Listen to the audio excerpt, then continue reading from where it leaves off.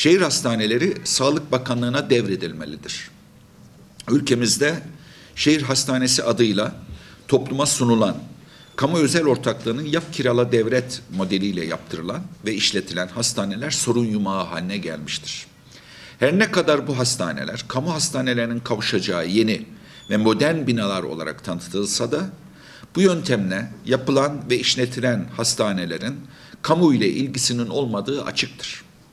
Şehir hastaneleri kamu adını kullanarak küresel sermayeye yeni ve büyük bir kaynak aktarmanın aracıdır. Kamuoyu sağlık alanda yeni bir özelleştirme ile karşı karşıyadır.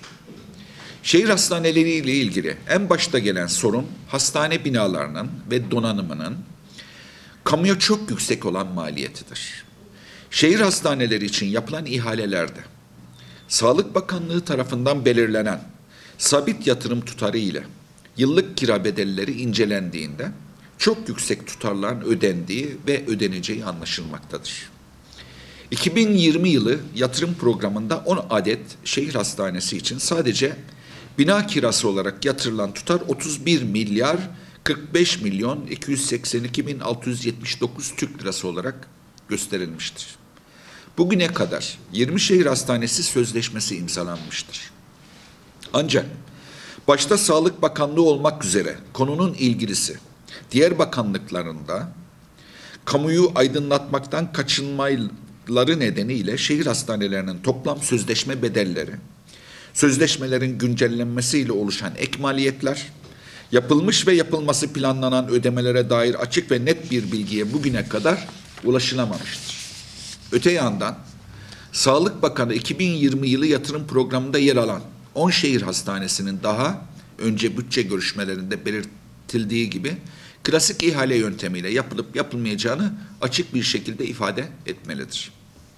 Şehir hastaneleri için Sağlık Bakanlığı tarafından bugüne kadar 2017 yılında 3 ayda 124 milyon kira, 185 milyon lira kadar hizmet bedeli ve toplamda 310 milyon lira 2018 yılında 1 milyar 152 milyon kira, 1 milyar 47 milyon hizmet bedeli ve 2 milyar 200 milyon kadar da yine ödemeler yapmışlardır.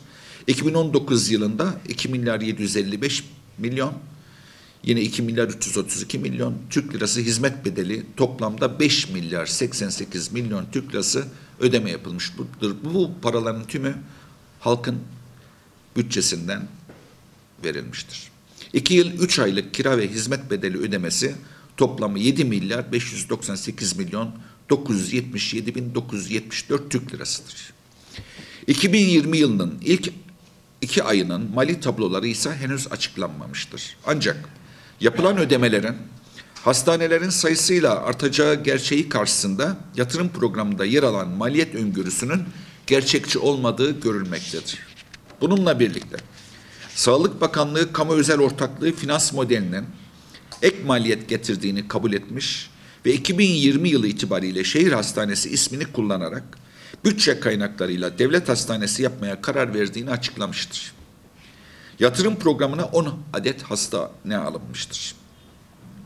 Yatırım programında 10 adet hastaneyi bildirmişlerdir. Bunlar Antalya, Aydın, Denizli, Diyarbakır, Ordu, Rize, Sakarya, Samsun, İstanbul, Sancaktepe ve Trabzon'dur.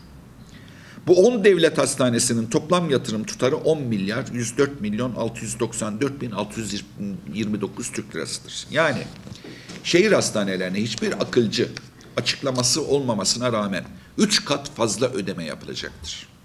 Kaldı ki şehir hastanelerine enflasyon ve kur garantilerinin yanında ayrıca miktara bağlı hizmetlerde yüzde yetmiş gibi sağlık hizmet gerçekleri gerekleriyle açıklanamaz bir doluluk oranı üzerinden hesaplanan alım garantileri verilmesi nedeniyle yıllar içinde yapılacak ödemelere dair net öngörüde bulunmamaktadır. Şehir hastaneleri israf ve sorunlarla doludur.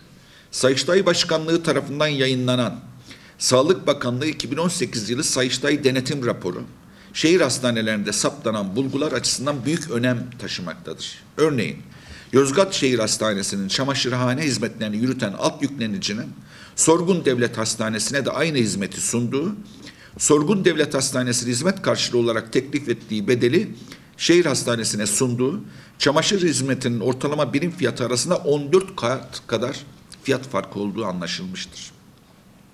Şehir hastanelerinde gerek destek hizmetleri, gerekse de tıbbi hizmet destekleri devlet hastanelerine göre taşeron şirketlerden çok daha yüksek bedellerle satın alınmaktadır.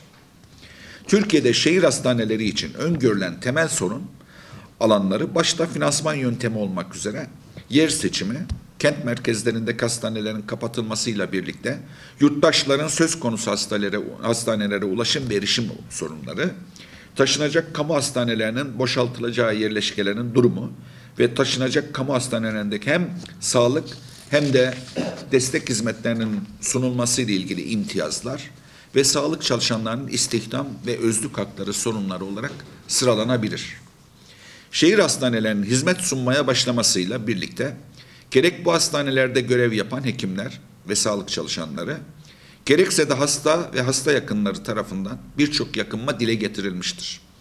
Bu yakınmalar arasında şehir hastanelerinin şehrin dışında yapılmış olması nedeniyle hem hastalar hem hasta yakınları hem de hekimler ve sağlık çalışanları açısından ulaşım sorunlarına yol açması, şehir hastanelerinin tasarımının yataklı tedavi hizmetleri sürecine uygun olmaması, teknik altyapının yetersiz ve kalitesiz oluşu, yönetimdeki başlılık yüzünden sorunların çözülmek yerine sürüncemede kalması, hastane binasının anormal büyüklüğü ve bölümler arasındaki mesafelerin uzaklığı nedeniyle sağlık hizmetinin bütünselliğinin ortadan kalkması ve buna bağlı olarak hasta bakımının aksaması, eğitimsiz ve yetersiz sayıda personel sayılabilir.